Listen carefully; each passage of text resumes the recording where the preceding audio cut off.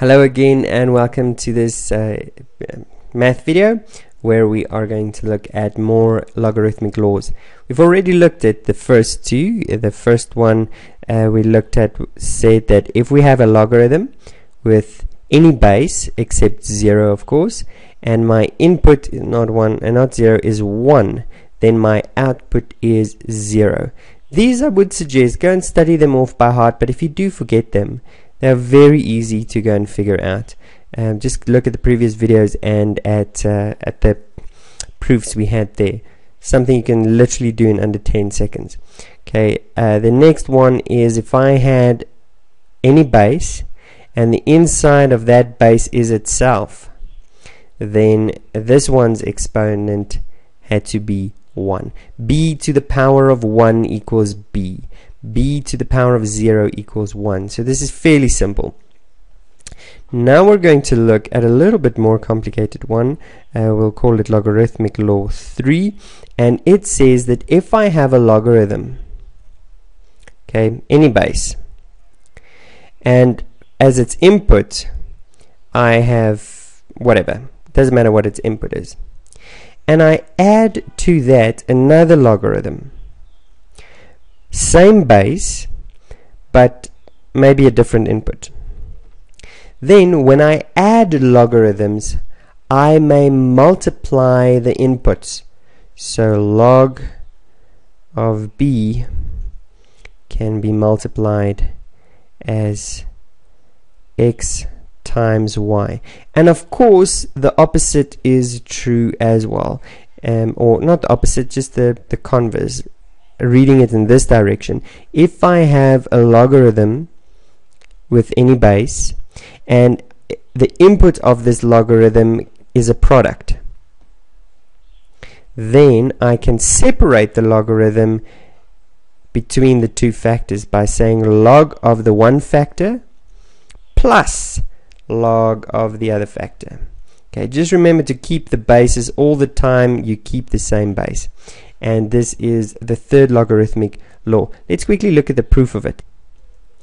Now to prove this I'm going to show that this left hand side is equal to that this left hand side is equal to this right hand side. So whatever on this left hand side I can get the same thing as I have there on the right hand side.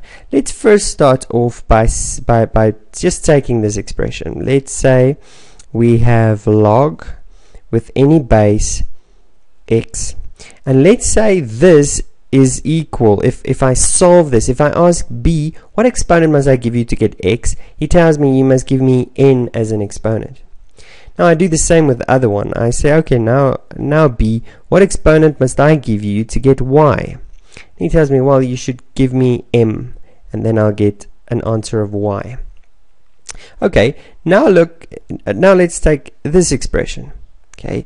But before we can uh, well let's let's go and do that expression. Let's say now we ask b. Okay b what exponent must we give you to get x times y? And he will tell you okay you must give me and what will he tell me? Okay. And this is what we what we want to find out. Well let's first look at at this and we rewrite this in its exponential form. In other words we have that b to the power of n would give me x. That's what we said. And b to the power of m would give me y. Okay, so what happens if I multiply x and y with each other? So take these two, multiply the left hand side, so now I'm going to say x times y. Let's do this here.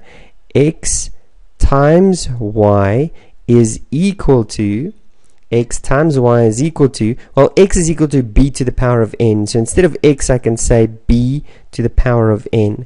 And y is equal to b to the power of m. So instead of y I say times b to the power of m. And now I can go ahead and say well this means that x times y is equal to, and since it's same basis, I can add the exponents, is equal to b to the power of n plus m. Now I've got a new exponential expression, and I see, oh, look at that. Okay. If I ask B, B, what exponent must I give you to get x times y? And look here, B to the power of n plus m gives us x times y. Does that make sense? Okay, so if we were to answer this question that we had here, log of b x times y, in other words, log b, what exponent must we give you to get x times y? And he will answer based on this, you must give me the exponent n plus m. Okay, we are not there yet. We are trying to prove this.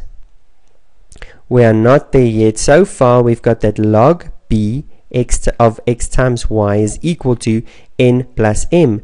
But right in the beginning, we said that n is equal to this. So everywhere where we see an n, we can replace this expression.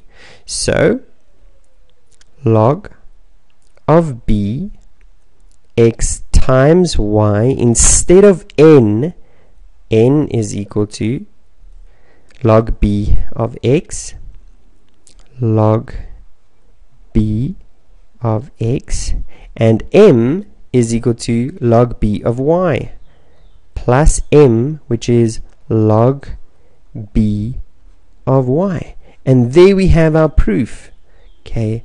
And uh, I think you might want to go through this uh, one or uh, two times more, but then I'm sure you'll feel very confident in answering this question. Let's look at a quick application example.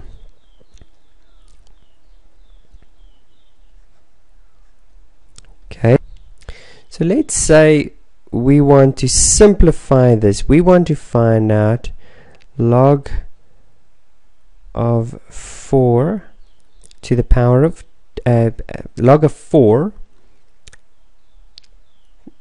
of 2 plus log 4 of 8 okay. Now if we just wanted to do it without simplifying without using this law that we have here then we'd have to ask well 4 what exponent must we give you to get 2 Okay, and if you didn't know, 4 to the power of a half is 2.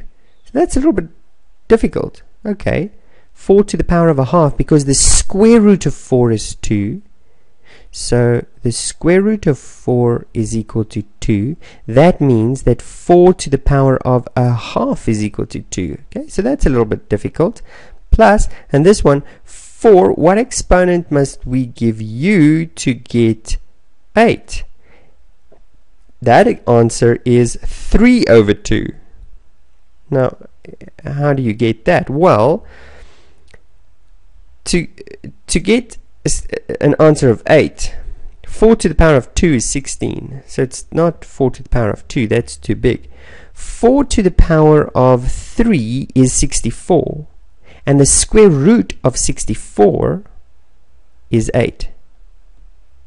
So that's 4 to the power of 3 over 2 okay so you can see this is this is not simple. This is not just straightforward. But let me show you if we simply use this law we can actually simplify this question very quickly.